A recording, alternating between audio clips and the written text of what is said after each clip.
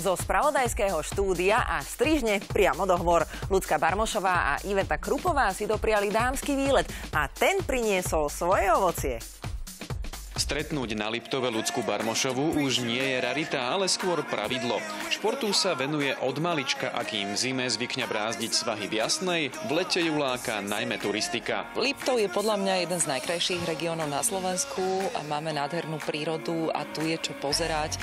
Je tu kde športovať, naozaj tých možností je kopec. Tento raz si s partiou kamarátok vyrazili na dámsku jazdu. Na to doslova, keďže krásy regiónu sa rozhodli spoznávať z bicykla. Ja cvičím každý druhý deň, pravidelne sa snažím e, dávať si do tela trochu, aby som mala aj kondičku, aby som sa aj lepšie cítila. Nie je to o chudnutí, ale je to o tom, že človek sa potom aj lepšie cíti, je taký nabudený, lebo cvičívam ráno. V Liptovských kopcoch však treba občas siahnuť po dodatočnom zdroji energie. A tak naše dievčatá nenechali nič na náhodu a stavili na elektrinu. Ak si niekto myslí, že akože na e nemusíte makať, tak ste teda akože na veľkom omyle, pretože viete si to tam nastaviť, viete sa aj do kopca a tak ďalej.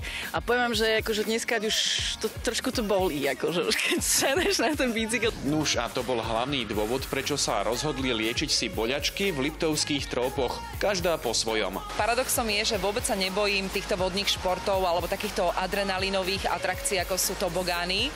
Naopak na kolotočoch mi ani nie je dobre, nerada to mám, bojím sa na kolotočoch, ale tu vyhľadávam tie najbrutálnejšie. Ja som není taký kamikadze ako ľudská.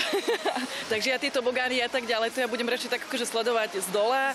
Pri najhoršom, alebo teda pri najlepšom budem dávať pozor na neterku a synovca. Vidno, že pánsku spoločnosť na dovolenke dokážu oželieť, najmä po celodennej, náročnej cykloturistike.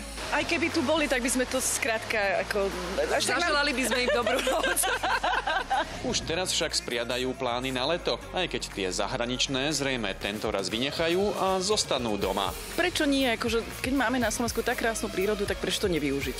A hlavne predsa len aj po tej korone, tak pomôžeme aj tým našim prevádzkárom a tým našim ľuďom, ktorí tu jednoducho teraz ten chlebíček nemali veľmi za tie tri mesiace, tak treba to aj takto nejak opäť povzniesť.